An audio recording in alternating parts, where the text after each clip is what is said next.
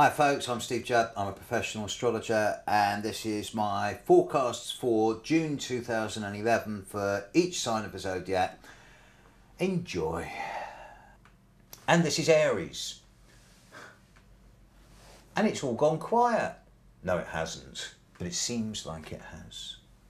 All the big boys have gone away.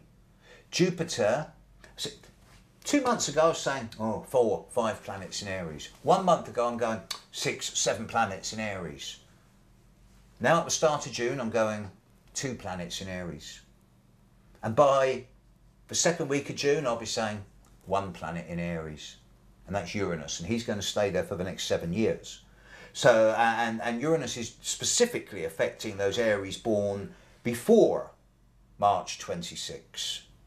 If you're an early Aries, then change is a non-negotiable option.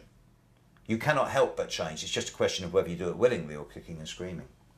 But Jupiter's been with you for the last four months. All areas have been, had opportunities for growth and expansion. I just hope that some of it's worked out without it going over the top. Now you're going to see a sudden decrease as you get into June of pressure.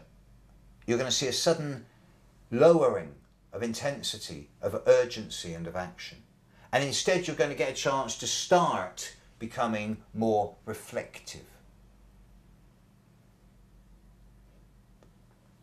I think that this month brings the opportunity to step back from the fray. Not to step onto the sidelines, but to step down a gear or two, to move to the outside and just slow down a little bit and reassess reevaluate, reconsider what's really been going on for you in the last three or four months. Because for the first time this year, you're starting to get clear perspective. So as far as June 2011 goes, Aries, it's not a big month for major new developments. Instead, it's time to start having a look at what the hell's been going on and what you're going to do with it. So have a quieter month, have a reflective month. Hi folks, I hope you enjoyed that.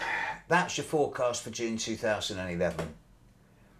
If you want to get hold of me for anything you want me to do, I do personal readings. I'm the only astrologer in the UK that makes a full-time living out of doing face-to-face -face readings. We can do it on the phone and I'll record it and send it to you by MP3. We can do it on Skype or you can come to my office and we can do it face-to-face. -face. Uh, you can get hold of me at steve at stevejudd.com and um, see you on the other side. But one point this year, folks. June, July, especially at the end of July this year, I'm running the Green Gathering. I'm one of the people running this year's Green Gathering. So have a look at www.greengathering2011.com. See what you think. Have a great month. Bye.